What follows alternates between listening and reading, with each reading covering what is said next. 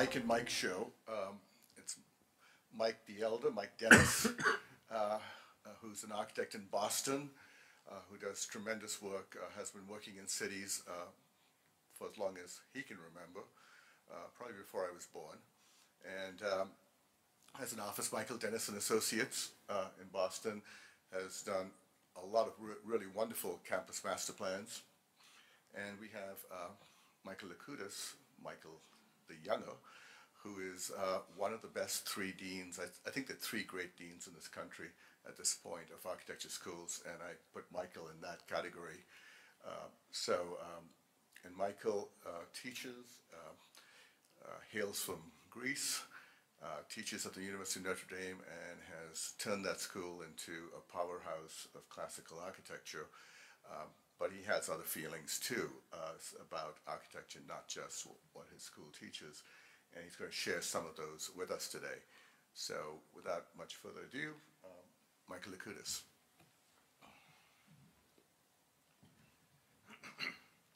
Thank you, Dhiru. You're much too kind to me anyway. But thank you all for coming. Um, what I'd like to talk to you about today is uh, very appropriate, I think, to the times that we live in, uh, is uh, the architecture of uh, 19th century Athens and in particular the facades of the city. Um, Athens uh, in, from 1830 to about the mid part of the 20th century uh, developed uh, a very strong uh, architectural character that was continuous from all demographic groups, from the rich to the poor, the public to the private.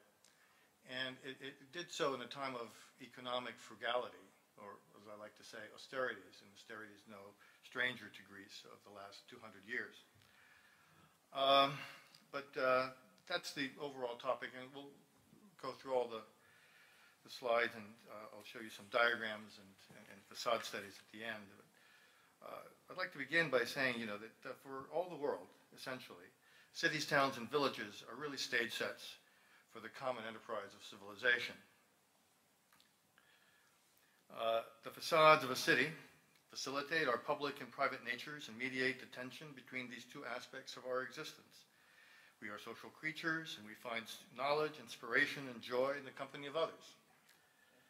Opposite of our social nature is the need for privacy. We gain security, inspiration, and comfort in the privacy of our homes. We cannot be isolated for long periods of time, and we need to return to the public realm after being charged, recharged from our isolation. Another part of the private realm is, has traditionally been commerce. The need for identity, to compete and vie for excellence, is as much a part of the human condition as the need for collaboration and cooperation. The city, with its public and private spaces, facilitates this dual nature of humanity. The fabric of a city is of the private realm and offers privacy and shelter and commercial entities that offer the competitive and individual enterprises that make up the vitality of a culture. On the opposite side, the public realm is made up of capitol buildings, town halls, libraries, schools, and other public institutions that both celebrate the accomplishments of a culture and facilitate its governance, education, and broader common aspirations. These diagrams of, of Leon Krier are sort of indicative of, of those principles. With respect to buildings, walls give us privacy and identity, and openings modulate the relationship of a space to the outside world. Thus, at one end of the spectrum, bathrooms and kitchens usually have small windows, for example, and on the other, living rooms and public rooms have large ones. Colonnades and arcades, which can be seen as walls with much of the material removed uh, as possible, helps them be structurally sound, make the most porous connections between the public domain, such as streets, and the spaces behind them. Together, at both ends and scales of urbanism and architecture, the city, with its streets, squares, and blocks, walls, openings, and roofs, facilitates a delicate balance between private and public. The facades of individual buildings perform these functions, and architecture has, over the ages, brought artistic principles of composition to further enhance this stage set of our lives. Next few minutes, I'd like to discuss how these aspirations found as expression in a period of great economic austerity and political turmoil in 19th century Greece, and in particular Athens. The architectural unity that evolved was profound, a profound lesson in placemaking, alongside the creation of a new national identity for Greeks, who had just emerged from centuries of cohabitation with the Ottoman Empire. This unity was created by two forces, one top-down from the newly formed government of Greece that included a young king from Bavaria and a Danish, German, and French entourage, uh, architectural entourage. Uh, they brought with them a reinvented classical ideal to its birthplace. The other was a bottom-up force made up mostly of builders and developers, self-taught or trained in technical vocational schools of the time. The neoclassicism of Athens differed from its European counterparts. It was gently scaled to the landscape of its rediscovered home, acclimated to the geological and meteorological conditions of Greece, and calibrated to the economic scarcity of the young nation. So what I'd like to illustrate are the principles uh, that helped shape the making of the facades of neoclassical Athens, how the rubble walls of the city, uh, the city's buildings, were given nobility and monumentality through humble materials such as stucco, plaster, wood, and the sparing use of marble through veneer when appropriate. But first, a quick urban history of the town or city. This is Athens at the signing of their London Protocol in 1830 that, ins- uh, that ensured uh, Greece's independence from the Ottoman Empire. It, it is now a little medieval village of about 6,000 inhabitants, and it was to become the capital of the modern nation that would build its new identity on an ancient past.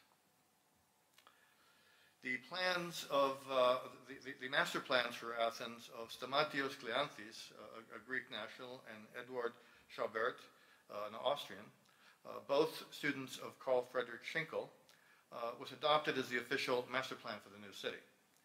The, that's the, plan at the top. Uh, the, yeah, that, that one there. Uh, the triangle plan, as it came to be known, located the palace on the low-lying area the, on the north axis with the monuments of the Acropolis and the Roman Agora uh, at, at, at, at the lower end. And either side of the palace, along the diagonals of this triangle, the civic and religious buildings were located. In addition, deep Haussmann-like cuts to the medieval fabric were made to make way for new streets, squares, and blocks, preserving only buildings of antiquity and of the church. Unfortunately, this plan proved rather unpopular with the denizens, which resulted in significant political unrest. Uh, the, the famed neoclassicist Leo von Klenze was hired to make the triangle plan, to take the triangle plan and improve upon it. That's the plan at the bottom. And this resulted in significant change, uh, in few significant changes, uh, mostly in the relocation of the palace and a few other uh, significant buildings, but didn't really address the, the problem of how you cut through the city and take people's homes away. So finally, the plan of uh, uh, Frederick von Gärtner, another Bavarian architect, made the modifications that pacified the opposition, and the plan was implemented in the late 1830s. The major changes here included the slicing of only a few major avenues through the medieval fabric and the location of the palace to the highest part of the city. That's to the, to the right. Uh, this is a photograph taken in about 1930 uh, of Athens and uh, is uh, towards the east, showing the comparative scales and, and intersection of the medieval village and the neoclassical city. To the right at the top is the palace, right there. Uh, now it's the parliament. And to the left is what has been called the Athens Trilogy, three buildings by the Hansen brothers, Theophilus and Christian, consisting of the National Library, the university, and the National Academy. That's. Okay. So those three buildings there. Further to the top, uh, on the upper left, can be seen the residential fabric of the uh, new classical city that followed the scale and grain of the old quarter found in the lower right of the, the medieval fabric, uh, albeit now it is uh, arranged in a Hippodamian grid. Uh, this is a view of, uh, the, of, uh, of, Athens, again, uh, a, a little bit later than the previous photo, and focus on Syntagma Square, one of the main, uh, one of the two major centers of Athens. And you can really see from this, in this photograph, the, you know, the, the connection between the public and the private buildings. You can see the, a complete range of, ar- of architectural character in terms of how the, the, the, the houses of the, of the wealthy versus the houses, the, houses of the poor were arranged And, and it's a great architectural continuity between all of these different realms. Uh, This is a view, view down Eola Street, which was thought to be the major boulevard uh, at the time between uh, the other center uh, of Athens, known as Omonia Square. Uh, The street was the principal axis that aligned the new city to the orientation of its future development. And it was organized to take advantage of an axial view of the Erechtheum up on the Acropolis and the Tower of the Winds, which is situated just uh, in the Roman Agora, just south, just just below the uh, the horizon line uh, on- the street. So back to uh, Syntagma Square, where the Parliament and Palace are. Uh, This, these are two views, one to the west on the left and one to the right uh, is to the east. And again, you're beginning to see the, uh, the architectural continuity, the proportional relationship between the openings, the, uh, the, the, the- neoclassical idea of, of, of, of reinforcing that center bay in each of, each of the, of the buildings. Uh, But uh, the, uh, the more modestly scaled uh, palaces to the, to the left still refer to the, the- grand event, which is the, the Parliament Building. The facade study by Ernst Ziller, a German architect, uh, uh, most prolific uh, practice of, uh, through two centuries, uh, indicates the effect of, of a new colonnade on the ground floor of the palace. And this connects, I think, more effectively the, the building to the public realm that was in front of it. But then again, there's this beautiful proportional continuity between the, the openings, which get smaller as the building get- gets, uh, uh, rises to the top, uh, to the top floor, uh, and, and- the colonnade allows us permeability and accessibility from the, uh, from the square uh, to what is really um, a, public place. The Athens Trilogy, uh, uh, each building sits in its own acropolis, uh, uh, all done by the Danish architects uh, uh, Christian and Theophilus Hansen. They also uh, subscribe to the classical ideal found uh, in, in, in, in, in Bavaria and being exported throughout Europe at the time. Uh, the materials, even though the, there is a monumental quality to the pediments, to the porticos, they're actually still rubble walls. Uh, they're all been, uh, in the two buildings, uh, on the outer buildings, the library to, on the foreground and the academy in the distant background, they're, that- which are veneered, everything is still made of very, very simple materials. And the university by Christian Hansen, uh, one of the first educational buildings, is almost entirely in stucco. But with very, very simple means and, and elements, uh, there's a great power conveyed about the public nature of the building, the, the nature of the, of the spaces behind the facades, and um, uh, again, at the same time, alluding to uh, the uh, architecture and elements of the Erechtheion, uh, not too far away, the capitals of the Ionic order being the most prominent part, but also the cornices and other proportional systems that were arranged th- throughout the building. The National Academy, with very, very simple typological elements, uh, uh, created a very complex uh, processional sequence from the street, from the main boulevard into the main space, was also veneered in marble, but also uh, adorned with uh, a, a very rich sculptural uh, program by the uh, Greek sculptor Drosis at the time. The National uh, Observatory by Hansen. Uh, again, we really get a sense of the, the nature of the spaces through the nature of the opening uh, on, on the walls. Uh, again, modest materials, all stucco, tin roof, just painted. Uh, and uh, the, the, the observatory part actually turned around with a, a mechanical device that was hand cranked.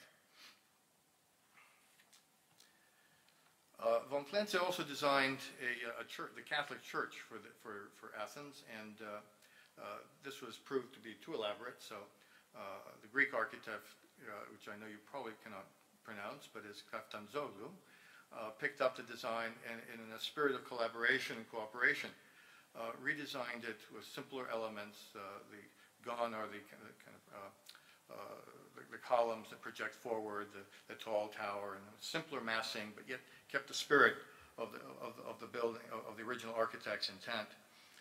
Uh, and also kept with the frugal spirit of, of the city. Religious architecture in Greece at the time was, uh, had been stopped for about 400 years, and the Greek church was experimenting with different kinds of, art, uh, uh, of, of church typologies, and they looked to, to Rome actually for that in the Renaissance. And so Kaftanzoglu uh, pr- uh, produced uh, this design for one of the largest churches in Greece at the time, uh, St. Constantine.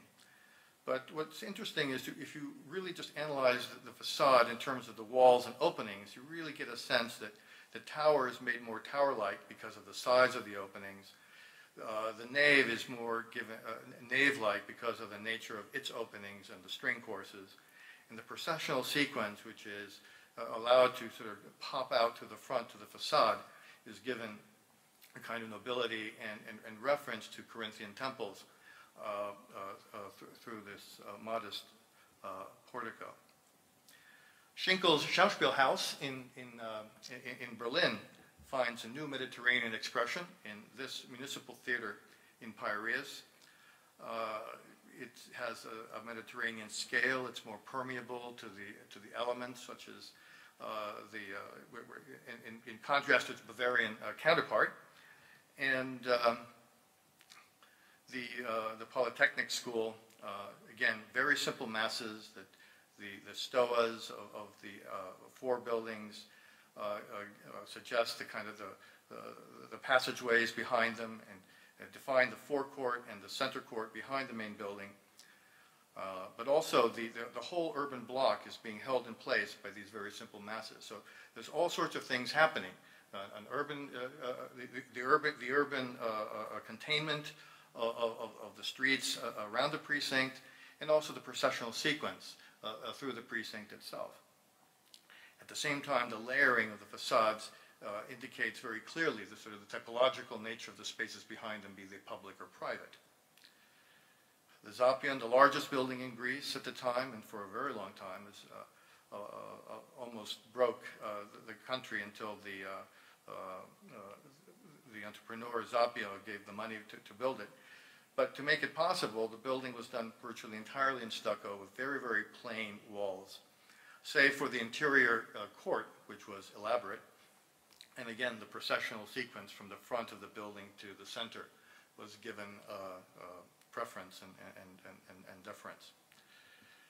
In spite of the economy of, of, of the building, they did manage to, in the portico, to really uh, outdo themselves with respect to some of the uh, architectural detailing. This Corinthian capital uh, was taken uh, as from inspiration from the Choragic monument of Lysicrates, which is the first known exterior application of the Corinthian order. And was given a kind of new life, an ebullience that was kind of uh, unique uh, in, in Athens at the time, uh, with, a, with a wonderful sort of delicate solid void relationship in, in the articulation of the acanthus leaves and the scrolls. And, but uh, austerity was more the norm, and in this uh, composition uh, by Kaftanzoglu, again, we see very uh, a lot of wall expanse, few windows, but whatever openings there are are done with a great sense of economy. Uh, later on in the century, as uh, money and, and commerce made a more elaborate architecture possible, this residence, which later became the post office, came about, also harkening back to 19th century Italian uh, architects in, in, in Rome, Milan, and other places. The domestic architecture, uh, you know, we'll, we'll start with the houses of some of the more wealthy citizens of Athens and work our way to some of the uh, more modest uh, buildings, just so you can see that sense of architectural continuity uh, between, be, between uh, the, the two demographic groups, or, or several demographic groups. This is the uh, house, which is now the Benaki Museum, um, uh, Texas residence. Uh, again, uh, all the rustication, all of the articulation is all done with plaster and, and, and stucco. Uh, this uh, is a side courthouse, and, uh, an apartment building or a multifamily residence with shops below. Again, we can look at the openings and understand the, the nature, the, the commercial, the residential, or the public and private components of the house. A more modest house in a more modest neighborhood of similar qualities. and uh, even a, a, a, more modest house with, again, but we can see the, the prominence of the center bay, the, the two doors on either side of that uh, uh, give access to the two apartments, one on the first floor and one on the second floor. An asymmetrical composition uh, by a builder. Uh, one of the th- uh, one of the very interesting things about uh, Athens is that so much of it was built by builders, uh, people that had gone maybe to a trade school, but maybe not. They, there were cottage industries of iron making and, and terracotta. So the columns may have been terracotta, the capitals were probably terracotta. And so a house like this uh, might, may allude to uh, certain monumental qualities, but in fact may have been uh, modestly uh, costed out. And yet a smaller, single-story house with uh, service qu- uh, quarters and, and, and, and the, in, in the basement, and the family lived up above in the main, you know, where, where the uh, larger windows are. Uh, This is in the Plaka uh, area, in the old medieval uh, quarter. Uh, Shops below, the, how, uh, the res, the family lives above. Again, very modest elements, but proportional continuity with the public buildings, uh, and, you know, the use of elements to tie them to others as well. And this building, this was actually one of the Ottoman buildings, and uh, you can see where the neoclassical facade has been applied to the side. And here you can really get a sense that uh, even the, the medieval quarter was eventually beginning to uh, imitate the neoclassical ring around the city and being transformed. And it's now the, probably the only place in Athens where you can really get a sense of what the 19th century city looked like. Uh, Manolis Biris, uh, an architect and professor at the university, organized the facades of, hou- of, houses in, in, in this uh, 16 uh, ho- uh, uh, matrix, a 16 place matrix. From left to right, uh, you're going from this prominently uh, uh, privileging the center to privileging the edges and asymmetry to the, as you go more to the right.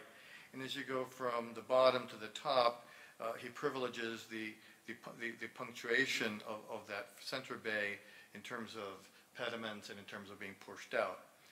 Uh, I think there's more complexity to architectural facades in Athens at the time, but since I'm just started thinking about this recently, uh, I'd like to come back to you some other time and talk more about it. But here's the here's some line drawings which show the complexity and, and delicacy of the ornament and of the of, the architectural character that was developed. Uh, this is a, a center bay, again privileged with a central entrance. Uh, central bay privileged with a pediment and the two entrances on either side for a duplex. Uh, Here, the center bay is a little de-emphasized, but has the same principles of, you know, being the, the, the dominant uh, organizational element and, and, and, and, and setting up the symmetry. Here, it becomes a little bit more diffuse. Uh, There's two main doors to, eith- on either end of the house, and then there's a main entrance on the center. And the balcony in the center, of course, gives that, the residual effect of privileging that center bay.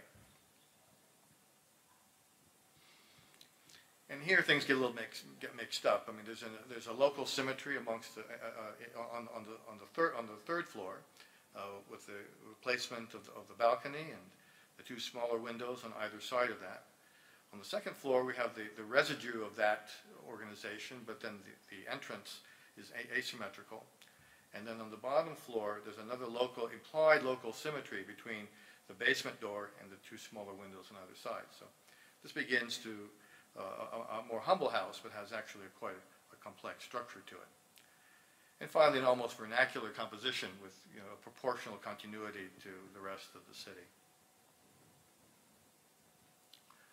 In this uh, uh, street sequence, more, it goes from a more elaborate house to the more simple house. And again, the, the whole center bay privileged and occupied center of uh, the implied column on the building on the left uh, develops into a tripart scheme as you go towards the right, ending up in, in a, in a two-bay scheme on the far right.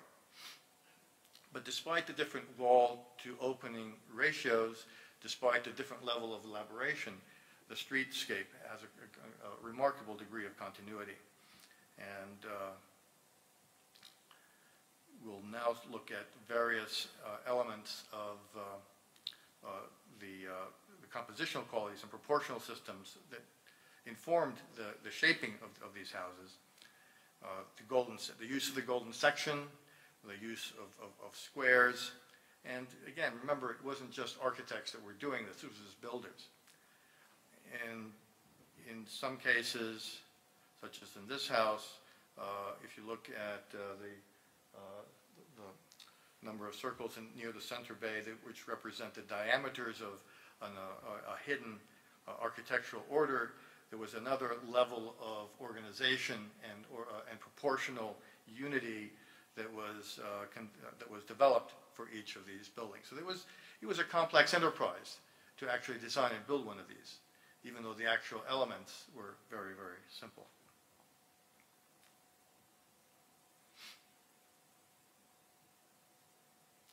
And even a small, modest residence. Uh, My colleague Richard Economakis and I, uh, many years ago, designed uh, two guardhouses for the Parliament building that you saw earlier. And what we did is we used the proportional systems that we had uh, understood from neoclassical Athens uh, to dictate the, the size and dimensions and, and, and, and relationships of the various elements. So we used the golden section, we used the square and diameters and modules as is customary in classical architecture to develop it. So this gives you a, a sense of how one might uh, use these systems in modern times as well.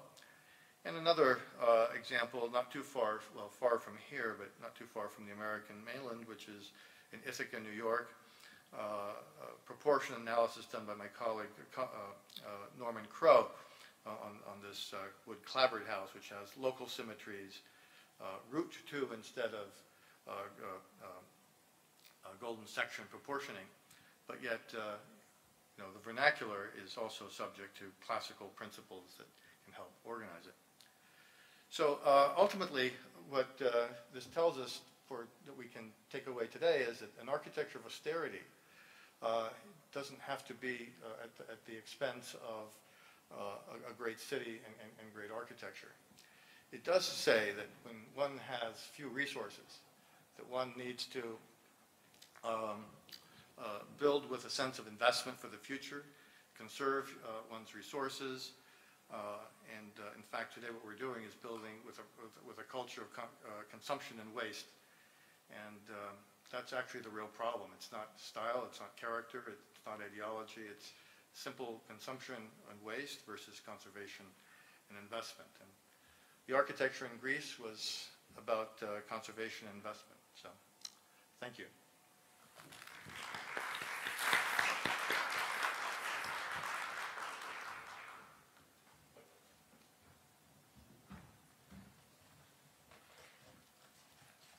Thank you, Michael, uh, for that overview. Uh, Is some thing? Looking at some you hear me? amazing work there. Uh, We're now going to hear from uh, Michael Dennis, and I wanted to say that this is the third consecutive year that Mike has been uh, at CNU. So this is kind of building on what the two previous lectures uh, that Mike has uh, given at CNU, uh, and this is a continuation. Last year, he talked about facades uh, in Venice, uh, but he hadn't been to Venice in a while, and since then he made a trip to Venice to improve that talk. Got, so we'll hear from Mike Dennis. Mike, let me just get your slides up. Is this thing turned on now? Yeah? Great. Uh, you should write this up, Lykoudis. You should write your thing up as an article.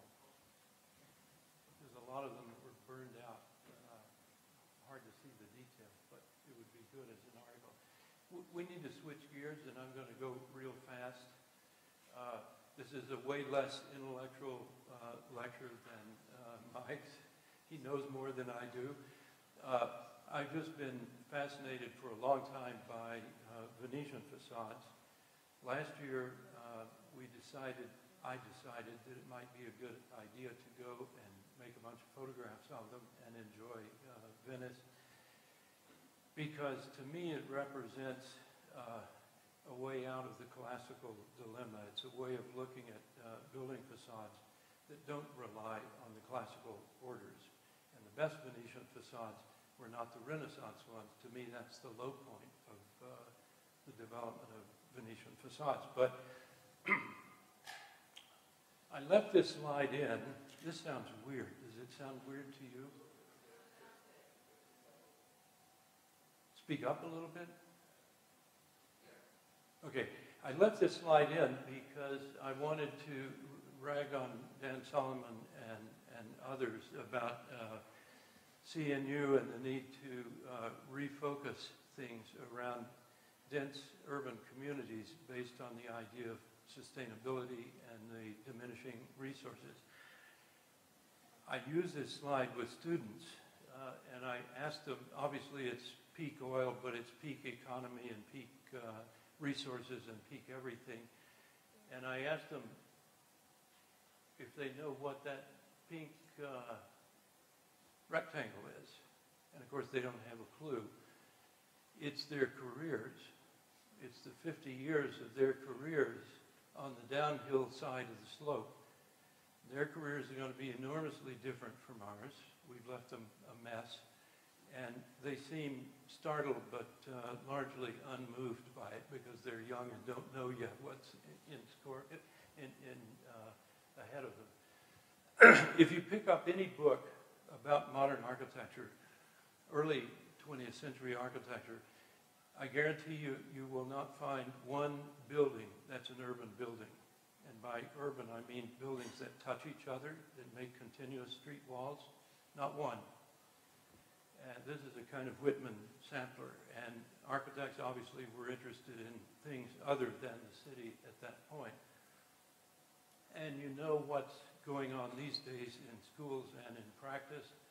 Uh, it's who can make the oddest envelope, and these are not the oddest uh, of them all. But in fact, what you need for cities is uh, facades.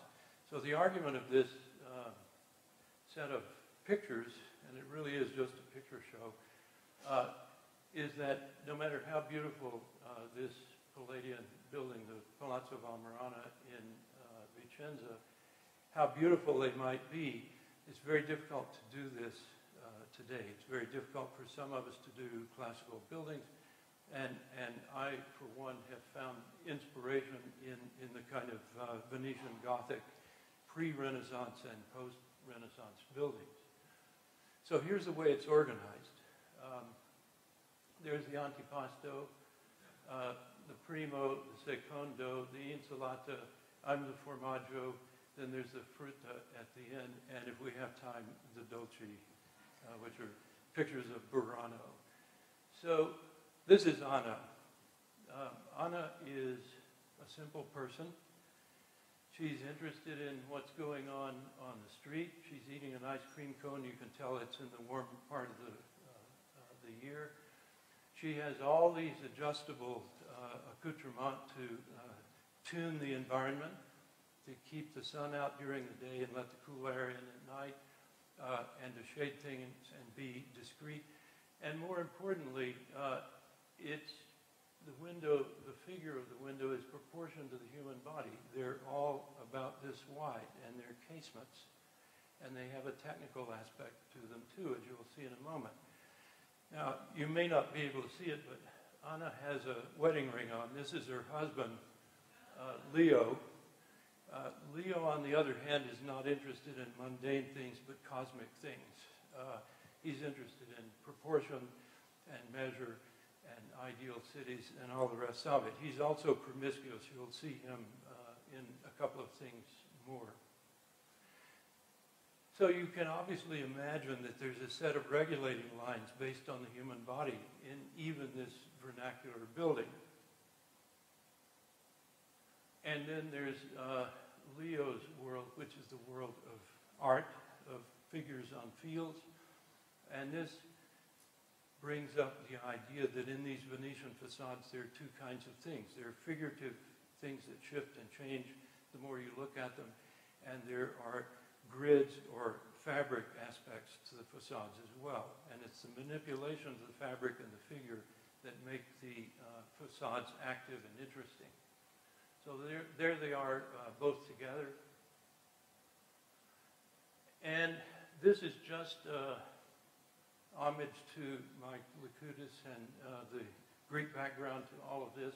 You know that the, um, the kuros is symbolic of that column, and that it has to do with a face and a face on the pediment side, and on the lateral side, there's a kind of extended horizontal facade. And in the Greek things, what you see is what you get. There's a direct relationship of structure to the idea of the building. By the time you get to the Romans, um, they're, they're, they've invented space, urban space and interior space, and they've laid this concatenation of verticals and horizontals on a solid masonry wall, not to indicate how the building's held up, but to divide it up and proportion it into kind of human-sized uh, elements or bays. Uh, one of the favorite ones, of course, is the Rucellai in uh, Florence. You could spend a lot of time looking at the proportions of these bays and the way the perspective, false perspective works or implied perspective. But you can't imagine uh, these Florentine buildings in Venice. They're done uh, for a completely different culture and with completely different uh, agendas. In Venice, the fact that they were safe from attack uh, for hundreds of years, if not a thousand years, meant that they could open the facades, make them abstract, and uh, didn't have to worry about defense. So there's the lagoon. You know it's built, Venice is built on water and uh, soil just below the surface. And I thought this was cute. Uh, the Venetian palace is to the art of the facade as the French hotel is to the art of the plan. And as a matter of fact, they're both based on the same kinds of principles of asymmetry and recentering. But the important thing is that Venice, meaning the basic islands of Venice, could not be reached by cannon fire from the mainland. So Napoleon couldn't attack them from the mainland. If you came by ship, you had to go through these canals, and there was a fortress right here. So fundamentally, they were safe. They couldn't be attacked, and they were never conquered uh, by either the land or the sea until they gave up in, what was it, 1812, something like that. So they developed a basic building type, which was a, a long, deep unit, three bays in this case, with a long hall, the portico in the middle, and the end, the facade was fundamentally a curtain wall. It didn't uh, have to be closed, and given the, the, the depth of this room, you could open it up. Not only could you open it up, but you needed to open it up to let light penetrate deep into the building. And the outside bays then had uh, a blank wall in the middle, two windows pressed out to the edge like ears on your, your head. And if you had a little money, you always built this uh, facade. These are the two components of the facade, the side bays and the center bay. If you had a little money, you built that. If you had a little bit more money, you could build two-thirds of a palace. And if you had a lot of money, you could build all, all three-thirds of the palace. So you can, this is the trickery of uh, Mr. Photoshop. Uh, you could have one bay, sometimes two bays, two side bays put together, so that the middle uh, piece functions like a column. You'll see this again. Uh, or two-thirds of a building, or three-thirds. Now, that's pretty clever. I'm real proud of this. Uh, watch again. It's amazing. It's, this version is just a dumb facade, a dumb run-of-the-mill Venetian facade. You tune the uh, proportions a bit, and these windows pack up around the center to make a bigger spot, and then a solid piece, and the windows on the outside. And they do this over and over again with all of these buildings. 700 years they say, use the same building type. This guy ran into financial troubles, obviously. Got started on three bays and couldn't go further than to do one on the side. This you will never, ever, ever, ever find in Venice.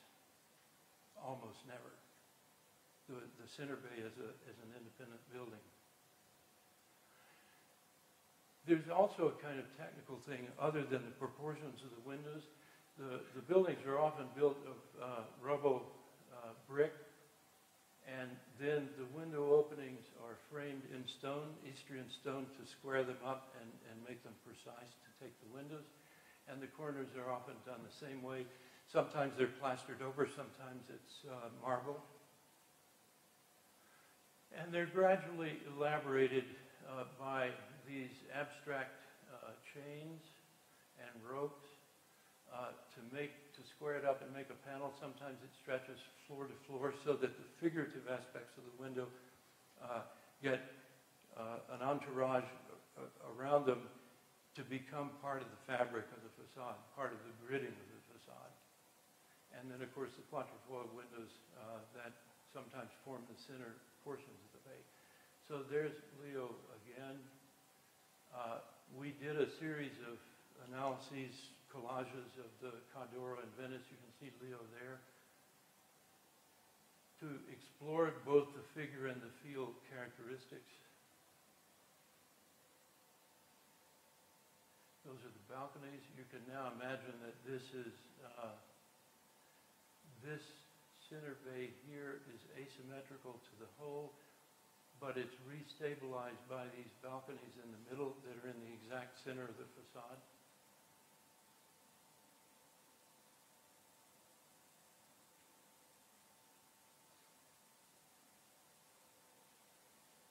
These are done by students at Cornell, actually, not MIT.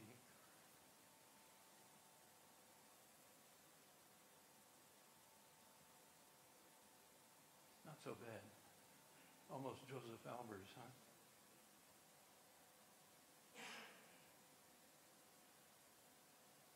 So here are a few uh, examples. I, I, like these uh, ones that are this single building, the side bay with a blank panel in the middle. A kind of fancied up one with two windows on the sides. Put two of those together, you get the column in the middle, which makes a kind of centerpiece out of the two windows, and, and then the, the, the eyes go out to the edge of the, of the face. Or you put one in the middle, and then you've got a, a kind of composite center bay with this, this set of windows and that set of windows functioning for both the outside bay and the central bay. Uh, these are fundamentally abstract uh, facades, very little in the way of classical uh, suggestions or ornament.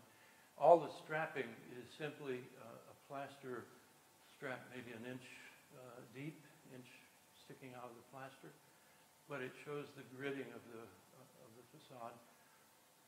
You could go on and on about these. A two-bay one, uh, the famous one, the Ca' Dario in, on the Grand Canal, where it's like the Ca' d'Oro in that this is the, this center bay here is, is asymmetrical to the whole building, but it borrows this window from the side, so it makes an expanded figure uh, on the building. And then that window is in the exact center of the building, which is where the door is uh, on the bottom. So your eye shifts back and forth between the symmetry and the asymmetry. Another one where this is borrowed again to make a, a bigger spot and a kind of classic trick of shoving these windows up tight under the balcony so that they appear to be with the second floor windows. And of course the uh, earliest ones in Venice, the Palazzo uh, Loredan and Farsetti on the right, where the center bay is almost indistinguishable, but it's confusing because there's a double column here, but this is actually the edge of that center base. So there's a whole bunch of subtle shifting going on uh, in the facade.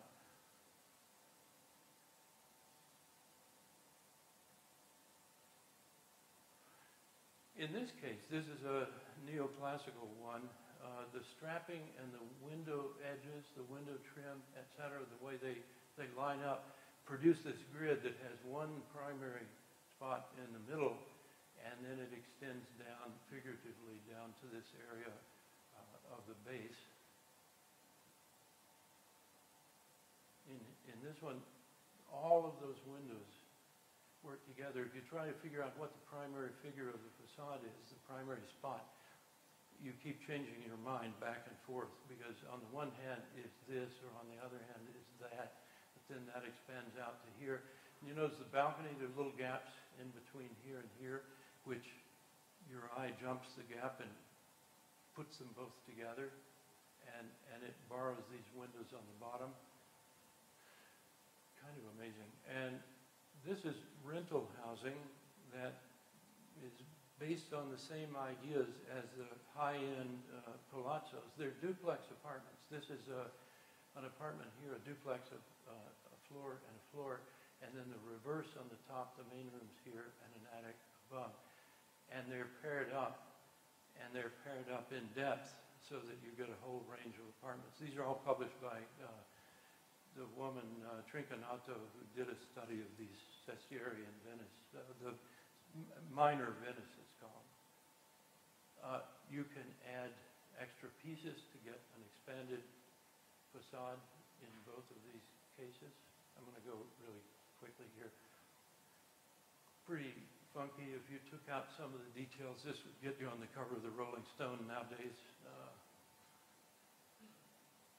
another one where there's a kind of, lots of times these were two-story buildings that they added a third floor and they shifted the idea between the main floor and the second floor. So when you put them together then, it's a very forgiving set of compositional ideas or components. Uh, It kind of doesn't matter so much when you begin to put them together and you begin to see all kinds of uh, urban rhythms that you don't see when you look at just one uh, facade. Blank panel, center bay, I mean side bay version. So the, all of this adds up to this kind of mesmerizing continuity that we know uh, Venice to be. Uh, there's a little piece here about modern facades. Do you know what this is?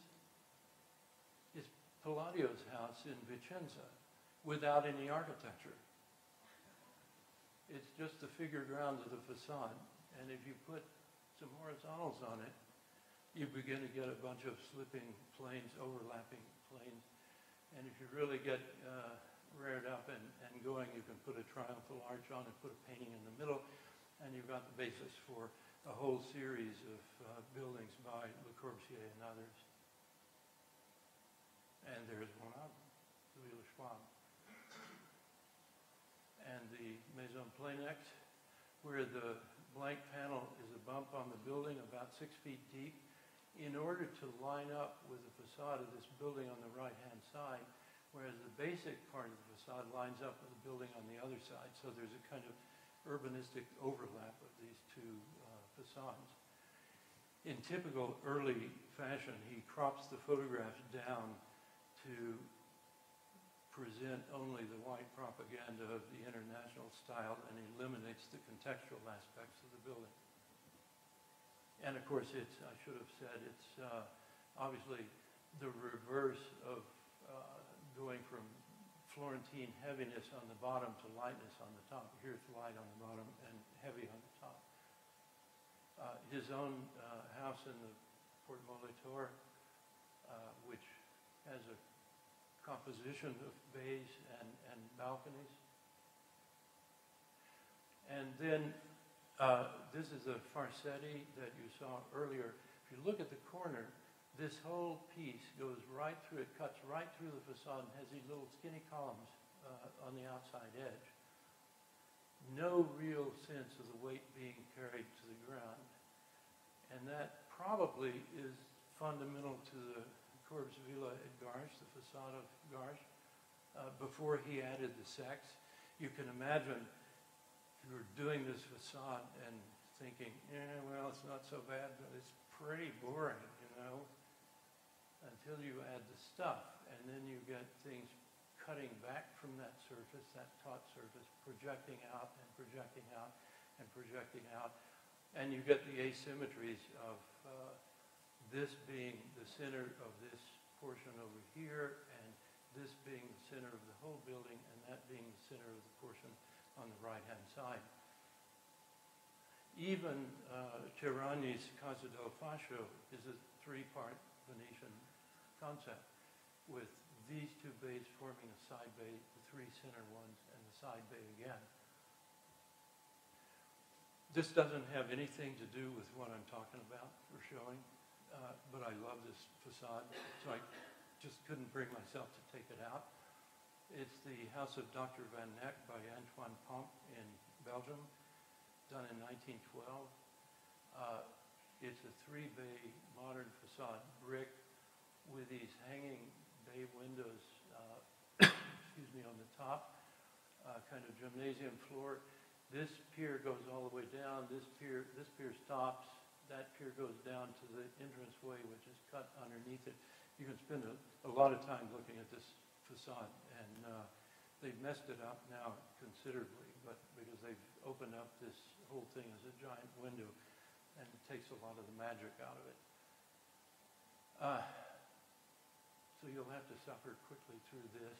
Um, I, I was chastised last year for not showing anything of, uh, of ours, and I hated to go up against Venetian facades, but uh, I'll, I'll do it anyway. Uh, This is a project that we did a number of years ago at Carnegie Mellon. There's a, a performing arts building, a university center building, a garage, a dormitory, and a future building. And that's view of the dormitory and the parking garage with a football stadium. They play junior college teams, uh, not uh, real teams, or junior high school teams, so it's not Ohio State. Seats maybe 2,400 people in this, uh, in this stadium. Okay. Uh, All of the pieces of the building, there are normative pieces and special pieces, and they all have to do with the context where they're located within the overall organization. We do typically do various kinds of punched windows and large racks of windows, but almost never, or absolutely never, continuous curtain walls, because they seem to anesthetize uh, the buildings. So there's a view with the gap between the two buildings and these uh, racks of windows. The dining hall is down here. There's a whole argument about classically not turning the corner uh, with things going continuously around the corner, so that there's a Flemish bond pattern on the bottom of the building, and it turns up only where there's what we would call a facade that's articulated from the edges. Uh, There's an articulation here, and then it turns the corner, and then you've got another facade piece, and so on. Um, That's a view of the uh, entry to the dining halls with studies above it. And you can see the Flemish bond turning up, but always articulated between the two. We never would take a molding like that and run it around a, a 90-degree corner. It's always trimmed off and stopped, so it prefers one direction over the other. Uh, This is one of the Hornbostel buildings at Carnegie Mellon with these uh, giant windows, kind of an industrial Beaux-Arts uh, aesthetic. And our building, the end of that uh, dormitory building where the windows are grouped together to make patterns and to make the whole thing center up. It even stops in this case right here and then again along that line. And the main entrance through the courtyard to this big drum, which is a big central space, uh, it looks like our uncle owns the window store uh, because there are these big racks of windows, there are these smaller punched windows, little square punched windows, gun slits. Uh, We used almost every trick we knew uh, in this building, but we saw it as a kind of, not just a facade, but like this phoenix rising between the two bigger parts of the building.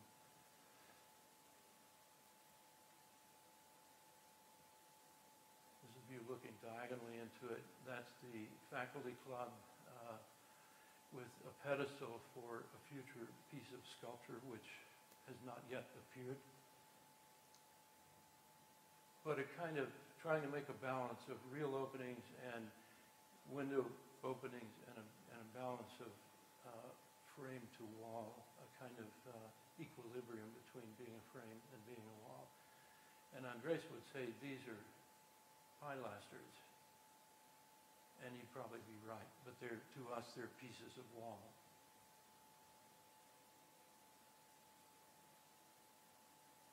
This also doesn't have anything to do with any of these points. It's just weird and, but we like it. It's the, like a spaceship that's landed making a porch and a very nice room overlooking the athletic fields.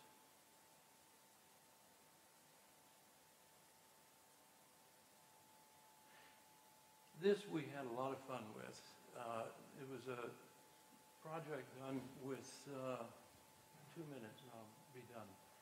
Uh, I was always intrigued by the Borneo Sporenburg project in Amsterdam that West 8 did. The only problem is they make really stupid facades, really bad facades, but the idea was intriguing. So we tried to capitalize on, on the idea, uh, that idea and the idea of Venetian facades. So I had the students analyze the Condora and make a collage, which, which this is one. Uh, and then I extrapolated from this Venetian palazzo the proportions and designed an apartment building with a two-story space in here. In other words, the apartment's two levels. So there was two levels there, two levels there, one on top and one on the bottom. Gave them the apartment building, had them design a facade for it. And the only requirement, I tested it out to see if it would work, you know, dimensionally and everything. Um, and put the, strung them together to make a kind of uh, long building or a street facade. And lo and behold, uh, they, it enabled them to get right in it and do some kind of uh, amazing facades. This is the two-story high portion of that uh, apartment. This is another one, partially frame and partially uh, infill. Another one that has a kind of screen or lattice over the front of the building. Another one, more frame expression. And then finally, I had them put them together to make a street with three ideas. One was to use their own building, the language of their own building, and make a whole street. Uh, the second one was to use the, their, their uh, colleagues or their classmates' buildings together with theirs to make a street. And the third one was to find contemporary buildings uh, to put into the collage and make the street. And uh, they could get uh, good contemporary buildings like, like uh, Jimmy Moneo's building here or any number of other things. Uh, Actually, that's, isn't that uh, from San Francisco? Stanley Saitowitz, yes. What was really interesting was that because the floors lined up, you got the kind of borrowing back and forth between facades that you tend to find in Washington D.C. in the in the in the sort of row house uh, districts and in Boston. Uh, this was another one, slightly more extravagant uh, buildings on the bottom, but uh, kind of interesting in here and in here in the middle. And then finally the woozy one on the bottom, just to see how far you can push it and what you can get away with. All to explore the idea of guidelines and, and which guidelines you can do and what do they produce and how can you uh, enforce them.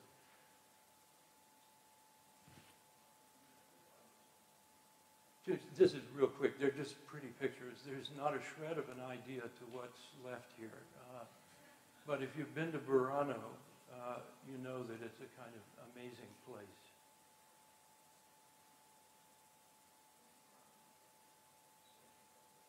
Burano, uh, the island uh, north of uh, Venice in the lagoon.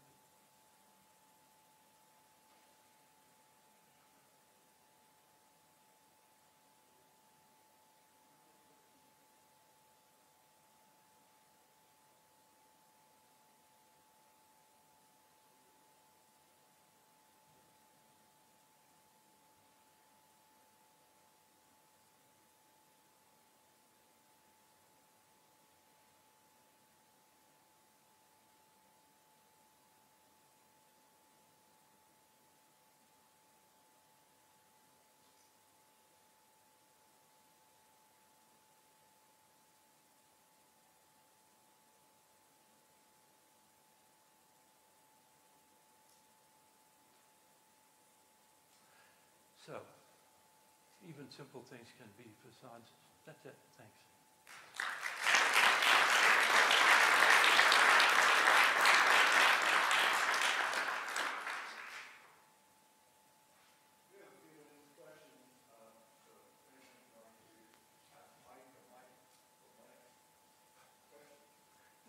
That's Mike.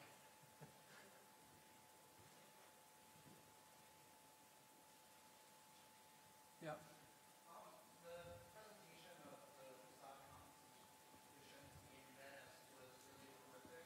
And it seemed like you were focusing on the, the window wall kind of characteristics and the pattern of fenestration.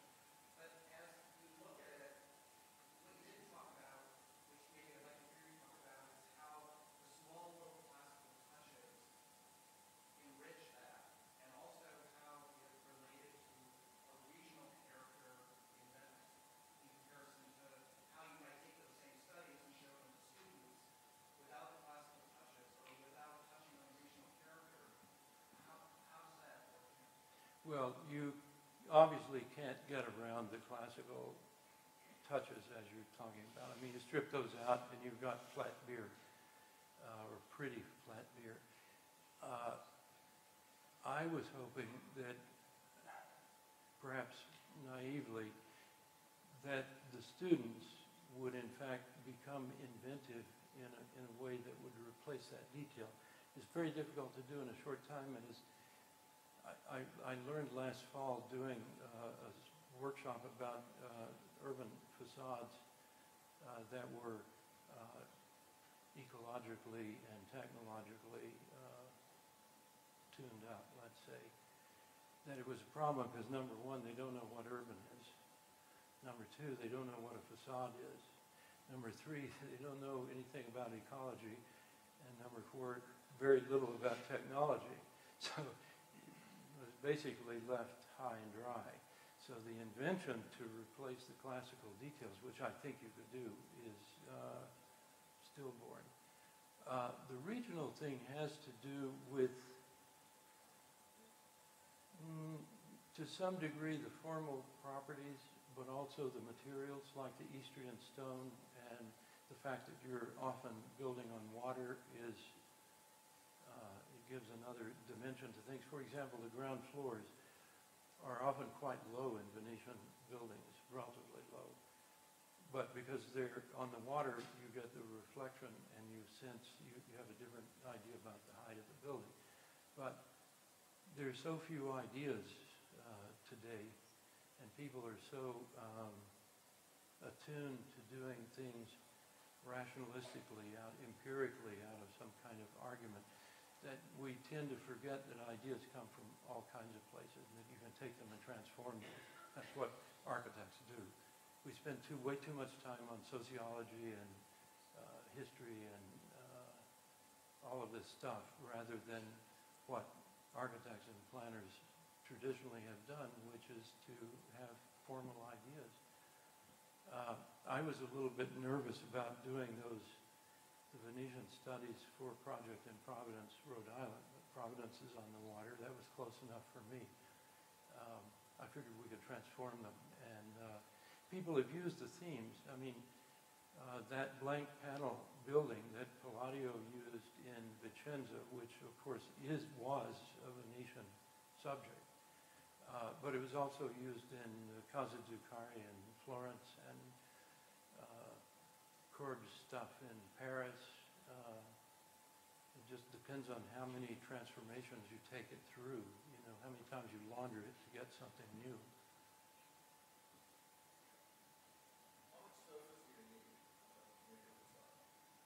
Well, I told them.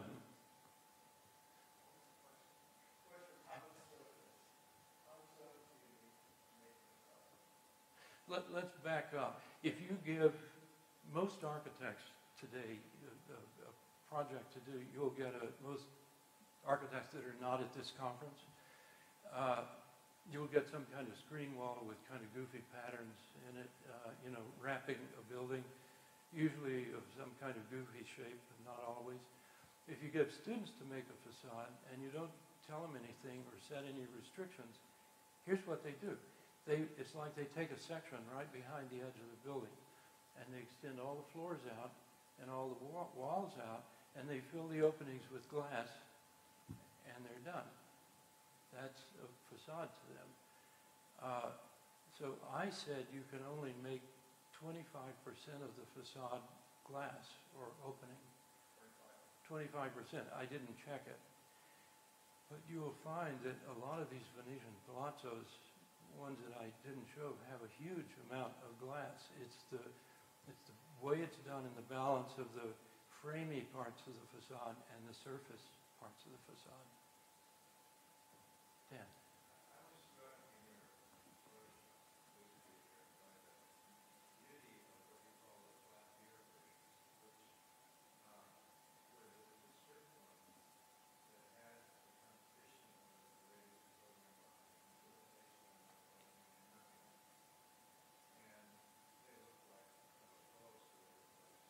Yeah.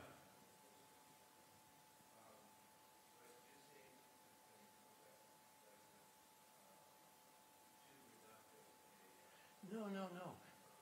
No, I, they, I, I don't. uh, Um, God, uh, let me do it up here. Um, Otherwise, you'll watch a hundred slides go by. Uh,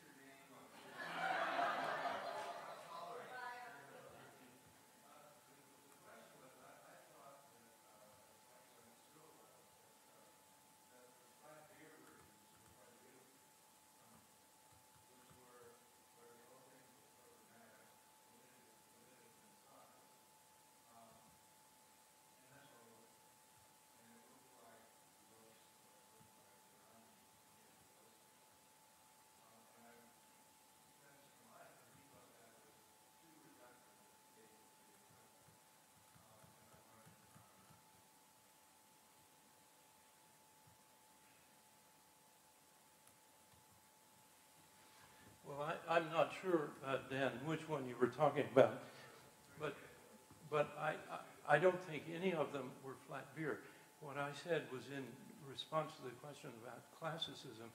If you look carefully at even the, the neoclassical ones, the ones, the post-Renaissance ones, that are very abstract, they all still have balusters and, and little bits of classical detail here and there. If you took those off, you would have flat beer. But is this one that you meant?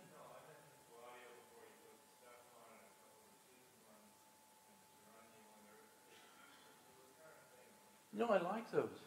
I mean, uh, Palladio I didn't like without the stuff on it, right? He needed to be, have his clothes on. But, uh, but you get to see that again. That's, uh,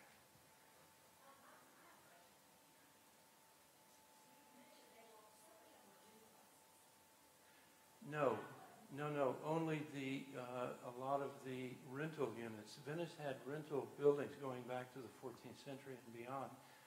And, and one way that they made them relate to the high art palaces was in fact to make them duplexes so they could get the same kind of language that the, that the big guys had.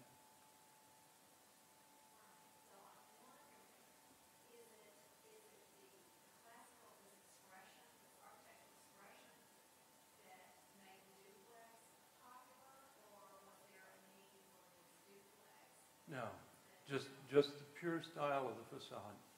For 700 years, they used the same things, you know, the same side bays. And they never really once built a, sing, a building as a center bay. There were some kind of aberrant versions, but never a pure center bay.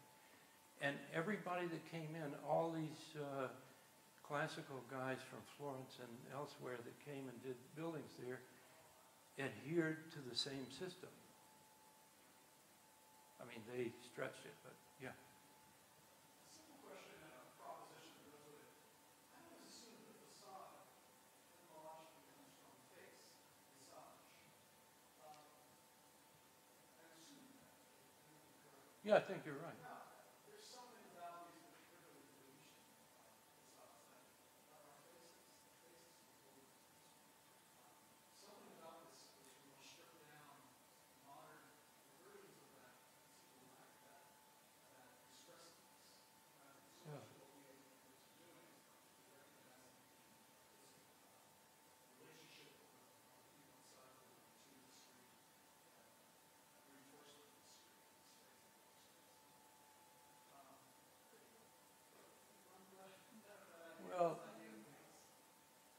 faces. Race thing is obviously real. I mean, look at Dan Solomon. He's got, you know, he's, he's got the figure, right? The, the figure of the nose and then the figure together with the eyes and with the, with the mouth on the field. And his eyebrows go out enough, they begin to work with his hair to make a kind of grid that his face fits in. uh, I think it ab- ab- absolutely has to do with that. One of the, I think you would agree, one of the problems with making buildings today is that too many architects, not at this conference, uh, don't like to make punched windows. Uh, they want to make what used to be called fenestration, right? Systems of fenestration. And when you do that, you lose the figurative characteristics of the building, that kind of balance between figure and field, between wall and opening. Yeah, Doug.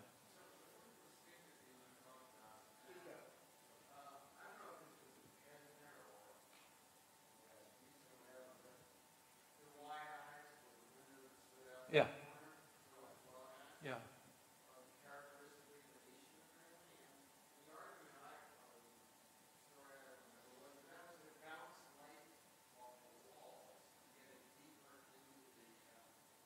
Yeah, I've heard that.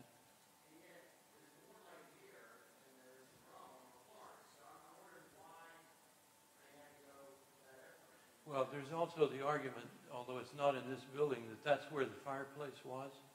And you got a chimney out here and a chimney out here. But in fact, what that does, if you think back to the Ca' d'Oro, there's no sense of weight being carried to the ground. That's what, to me, makes it a modern facade, quote, cla- classic modern facade. There's no sense of concatenation and of weight being carried to the ground. In fact, in the Ca' d'Oro, it's almost like the whole thing is a tapestry hung from the top, right? And it's like a taut skin. When you move the eyes out close to the edge, it's like stretching that thing tauter and tauter until you get a kind of drum-like surface. And I think that's what happen, happens with Corb's view at Garches and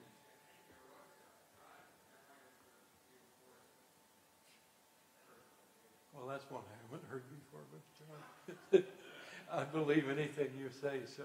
Uh,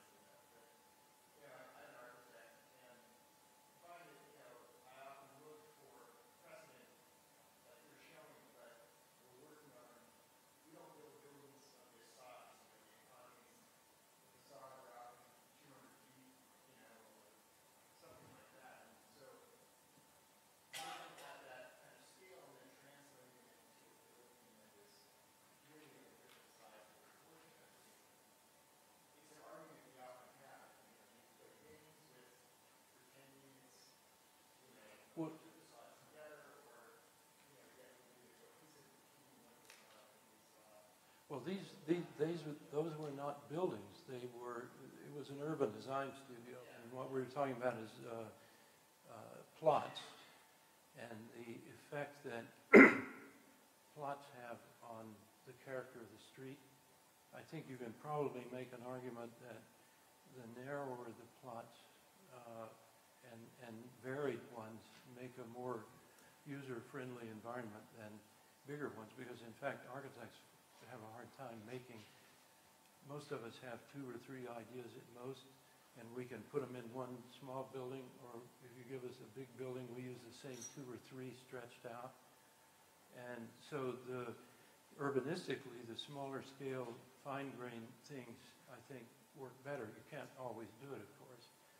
And so they, they were not meant to be buildings, but um, I think that's what you meant by the scale of the building. If you meant one building being 45 or 50 feet high by 50 feet wide, there are lots of buildings like that.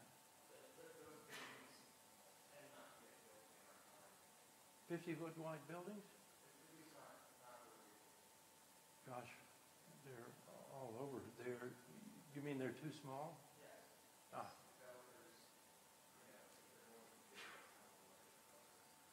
Well, eh, that depends on, how you manage the developers. But developers above all want uh, safety.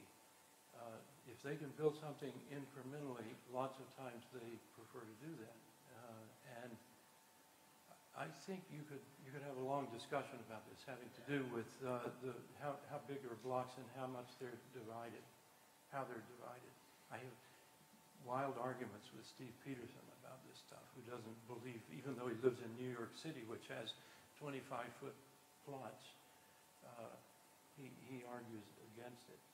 I think you can write the guidelines uh, to do this, and uh, it's done all over the world. Uh, Rob is doing all these towns all over the place that have smaller plots. Lower Manhattan had uh, small plots.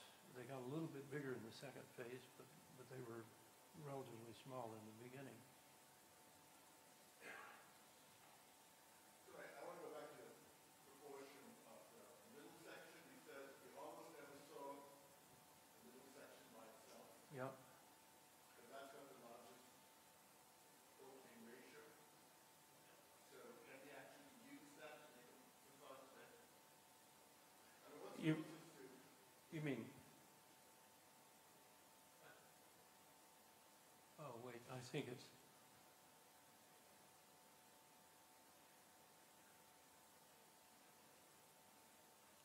you mean that? You will never find this in Venice. This is fake, I mean. Yeah.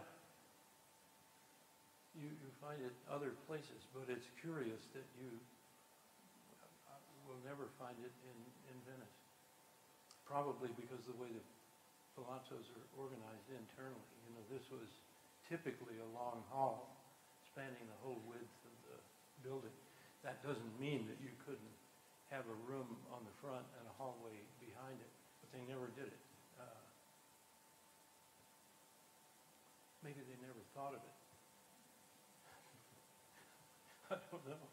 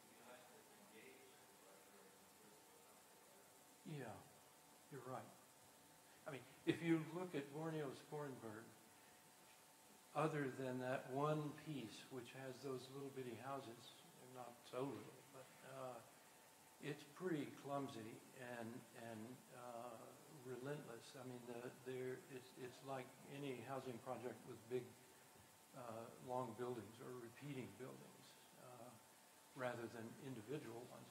The small scale portion, they had to pick different architects. No two arch, no architect could build a building side by side with his own building. So there's a variety programmed into it, but the rest of Borneo Sporenburg is not like that. In fact, they've got the density busters, these huge hogs of buildings that are kind of awkward and bad. But you're, you know, if you, if you go, I, think there's a difference between row houses in DC and row houses in Boston's Back Bay. There are components to the facade that work together. There's a kind of magic that you can do one house with a bay and a half or two bays or whatever it is, and then put it next to another house, and there's a kind of borrowing back and forth, so that you get a more complex urban rhythm uh, than if they're simply the same row house repeated over and over again.